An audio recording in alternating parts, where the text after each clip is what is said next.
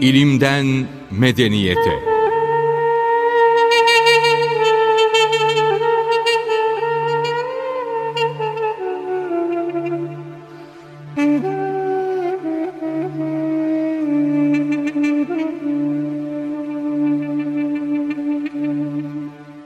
Merhaba kıymetli dinleyenlerim.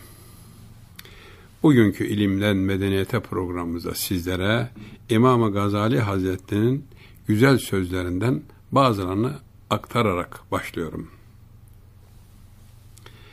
Efendim İmam Gazali Hazretleri buyuruyorlar ki, bir sözü söyleyeceği zaman düşün. Eğer o sözü söylemediğin zaman mesul olacaksan söyle. Yoksa sus. Şimdi bundan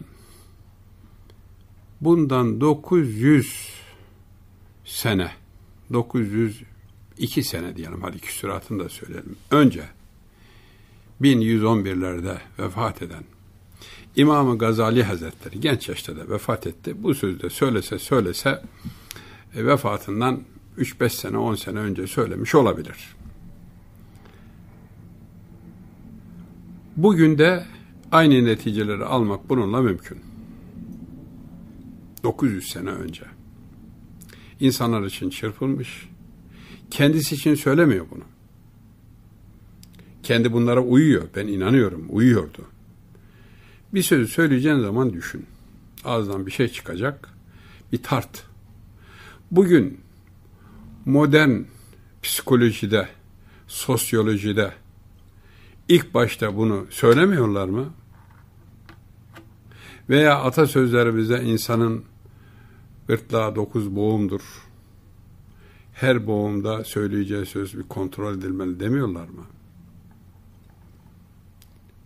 Dokuz tane kademeden geçiyor. Barajlardan geçiyor yani. Buralardan geçiyorsa tamam o zaman söyle. Ama bir yerde takıldıysa mı acaba diyorsan onu söyleme. Çünkü söz insanları kulağından avlar.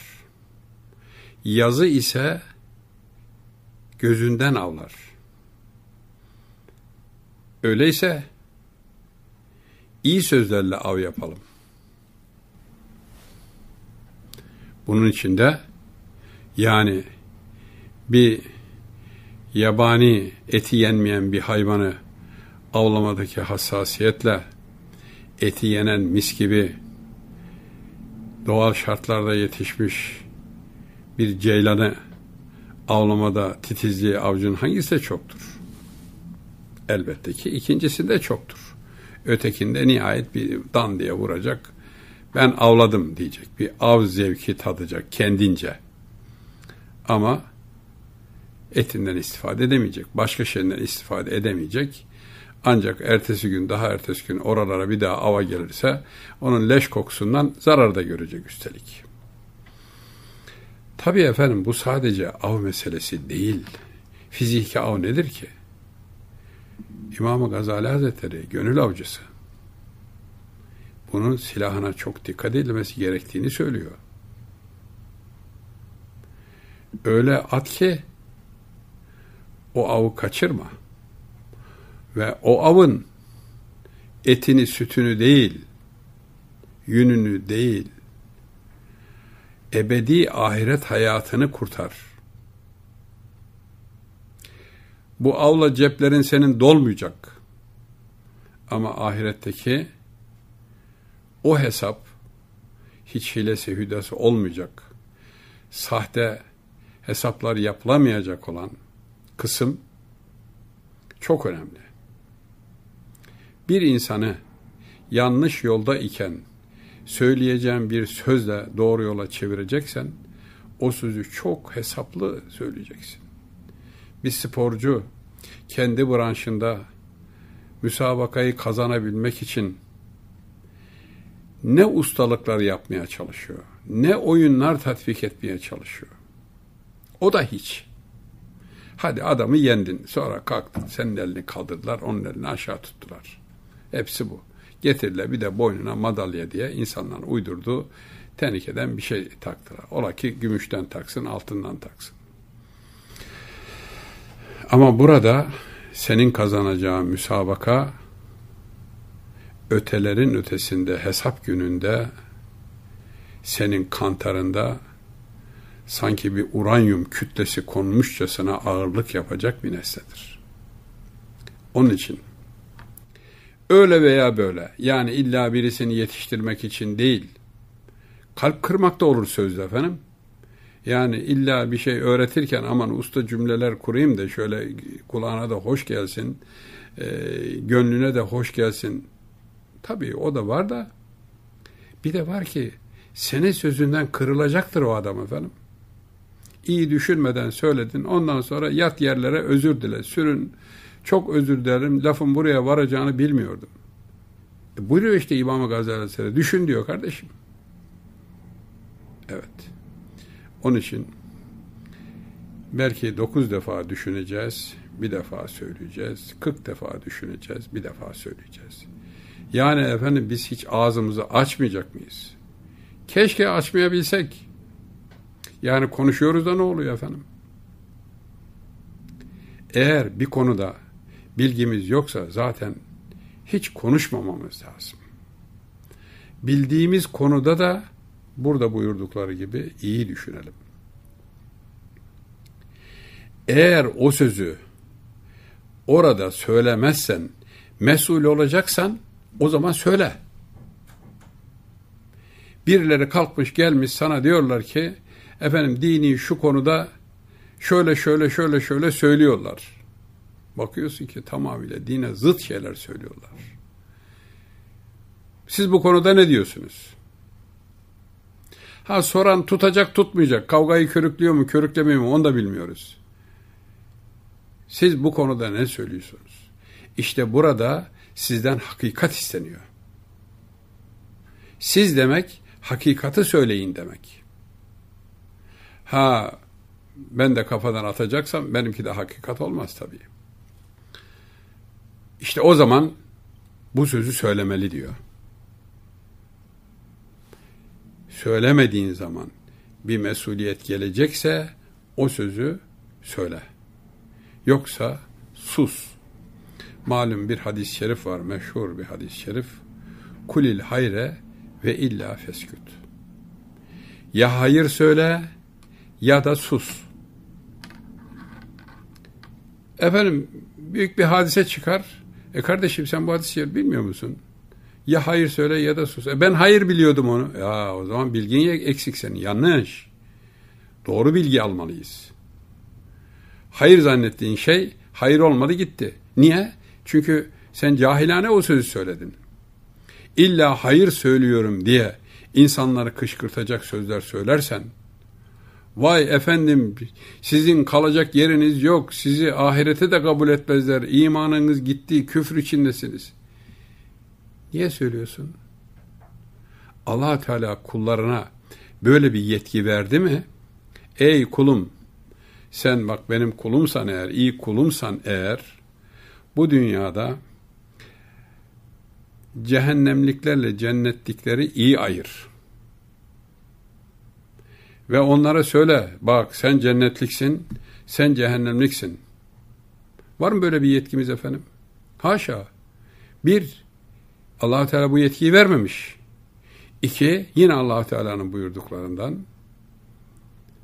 son nefese kadar kimin ne olacağı belli olmaz son nefeste öyle bir iş yapar ki son nefesini vermeden önce adam bütün kötülüklerini siler götürür. Götürür. Eksi puanların hepsi bitti. Kocaman bir de artı puan grubu geldi. Gelmez mi? Gelir. Hristiyanlıkta papazlar insanları korkutmak için ilimleri de olmadığından yani hakiki Hristiyanlığın kalıntılarından kalıntılarından kalıntıları da olsa eğer sistemi bilir de söylerlerse onlar da insanlara zarar vermeyebilir. Hoş Hristiyanlık e, bugün için feshedilmiş, yürürlükten kaldırılmış allah Teala'nın emriyle bir din. Ama onun yürürlükte olduğu zamandaki esas olan sözleri allah Teala'nın emirleriydi yürürlükten kalkmadan önce. E şimdi bu insanları korkutmak için afaroz diye bir şey çıkarmışlar efendim.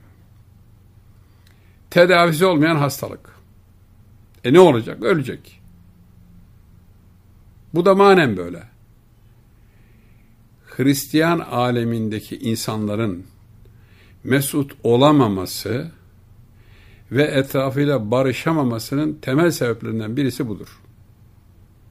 Aforozla insanları korkutmuşlar. Güya kazanmak istiyor. E cahil adam. allah Teala'nın emrettiği şekilde söylemezsen sen bunu olmaz ki. allah Teala son nefese kadar iman edip imanı kurtarmaya izin vermiş. Sen kim oluyorsun? Bir meclis topluyorsun. Bu adam afaroz. E, afaroz olunca insan sınıfından çıkıyor. E, canlı da o zaman bunu hayattan da çekelim diyorlar. Adamı yakıyorlar. Peki yakmak var mı? Ölüyü de, diriyi de yakmak yok efendim. Maalesef bazı deniz ürünlerini kızgın yağlara atarak onlar feryat figan bağırırlarken onu pişirip ondan işte çeşitli hormonlardan istifade ediyorlarmış. Yazıklar olsun. Yani İslamiyet böyle mi emrediyor efendim? Yakmak yok. Evet. Hatta biz çocukluğumuzda aman yeşil e, otu falan yakmayın diye hassasiyet gösterirlerdi. Bu boşuna mıydı? Cahillikten miydi yani? Bugün ne oluyor? Ormanlar cayır cayır yanıyor. Ormanlardaki binlerce, milyonlarca irili ufaklı canlı kavrulup gidiyor. Savunmasız kalıyor orada. Hem tabiattaki denge alt üst oluyor o bölgede hem de bir sürü zavallı mahluk mahpushanede yangın çıkmış da içindeki hapis olan kimseler de yanmışçasına kavrulup kalıyorlar.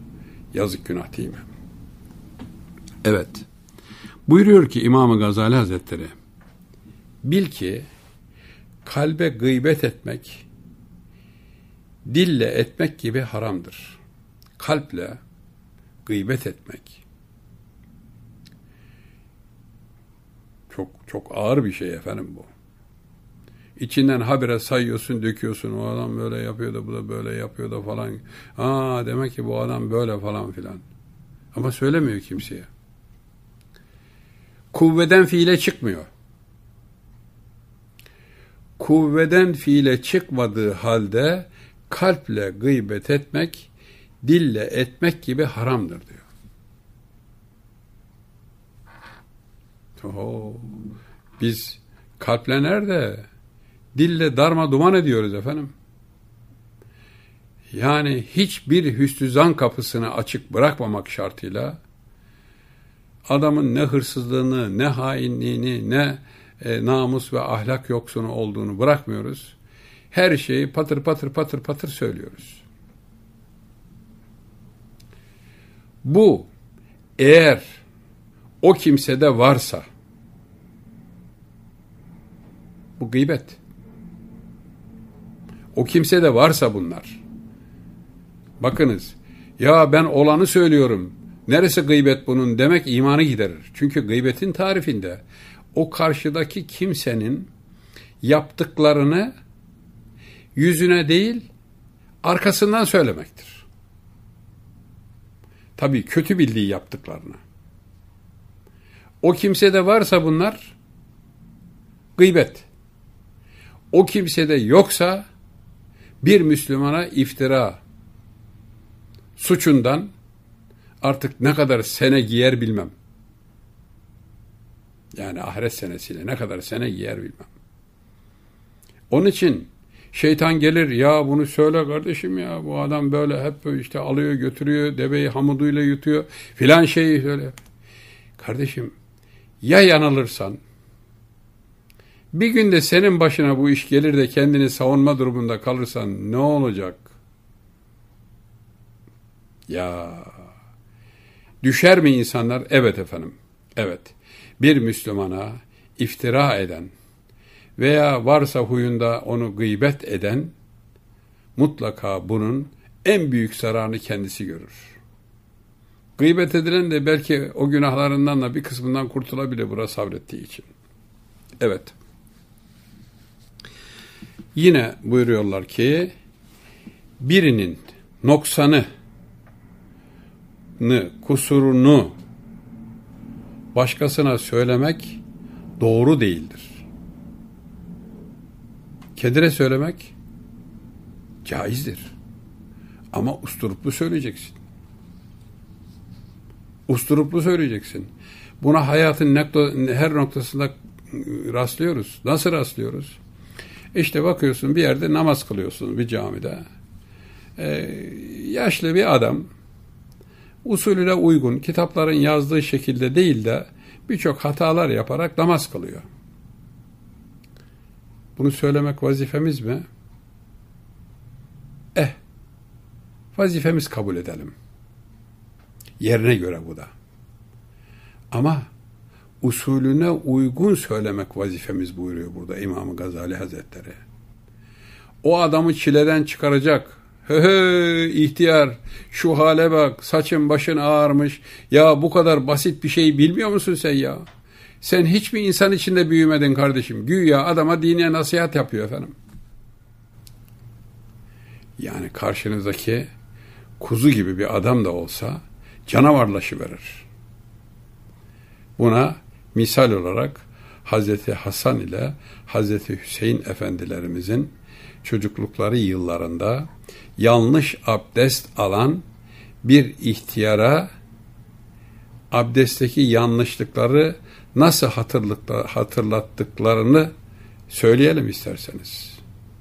Bakıyorlar ki ihtiyar amcanın abdesti düzgün değil. Bazı yeri ıslanıyor, bazı yeri ıslanmıyor. Su gidiyor, gitmiyor falan. Uzuv tam yıkanmıyor. Şimdi gitsek biz çocuğuz bu amcaya dedemiz yaşında belki bu amcaya dese ki amca senin böyle böyle belki kalbi kırılır.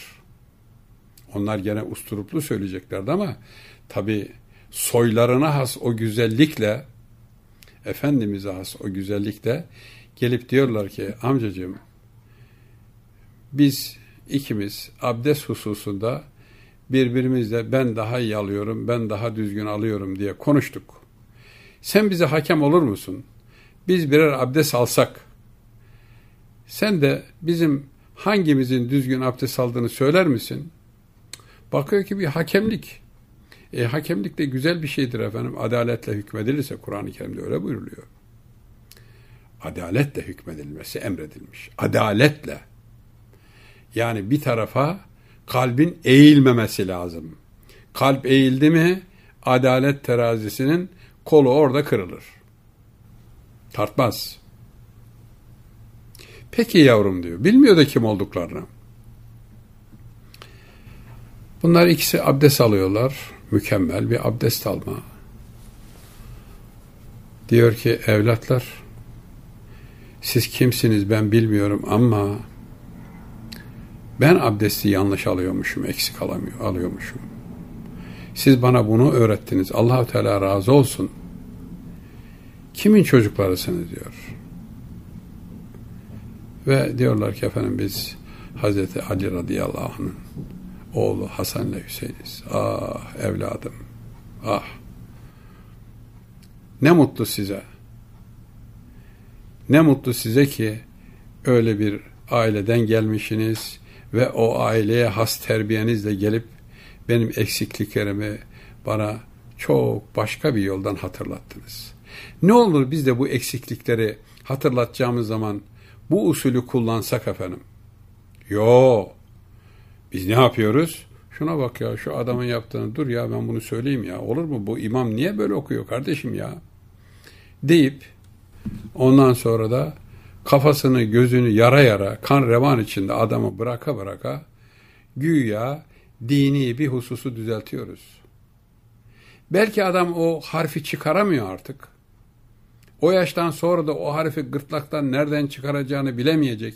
Niye üzesiniz efendim? Var mı? Yok. Yok. Ne kadar yapabiliyorsa, gücü neye yetiyorsa yapacak. Ama gücüm yetmiyor diye Ramazan-ı Şerif'te e, bakıyor ki 17-18 saat aç duracak. Benim gücüm yetmiyor ben ihtiyarım diye yan çiziyor. Ondan sonra da elinde hanımın verdiği listeyle pazarlarda kilometrelerce yor yürüyor. Sonra da gelip camide aman ayaklarım çok ağrıyor benim dizlerimden sıkıntım var. Oturup namazı sandalyede kılıyorsa o yanlış o. Kimseyi aldatamaz ancak ve ancak birini aldatır bu kimse. Kendini aldatır. Ahire gittiği ahirete gittiğinde e, sen böyle böyle gezdin tozdun geldin camide şimdi sandalyeye namaz kıldın. Sana olmuyor diyenler de geldiler. Oluyor dedin. Ne münasebet niye karışıyorsunuz? Keyif benim değil mi namaz benim değil mi dedin. Hadi bakalım şimdi bak bakalım senin namazın var mı burada? E ben bunları kıldım. E kıldın ama olmadı ki. Yok bunlar. Yeri boşluk. Karanlık duruyor bak. O zaman kafayı eğecek. Eğecek ama iş işten geçmiş olacak. Çünkü düzeltme ancak orada ateşle oluyor. Buyurun cehenneme. Denirse ne yapacağız Allah korusun. Efendim İmam Gazali Hazretleri bir ilim deryası idi. Onun bu güzel sözlerinden birkaç şeyi daha bundan sonraki programlarımızda da sizlere vereceğiz. Çünkü alim demek topluma, insanlara ahiretini kurtaracak şekilde bir şeyleri öğretmeye çalışan ve öğreten insan demektir. Alim buna denir. Süremizin sonuna geldik. Hoşçakalınız efendim.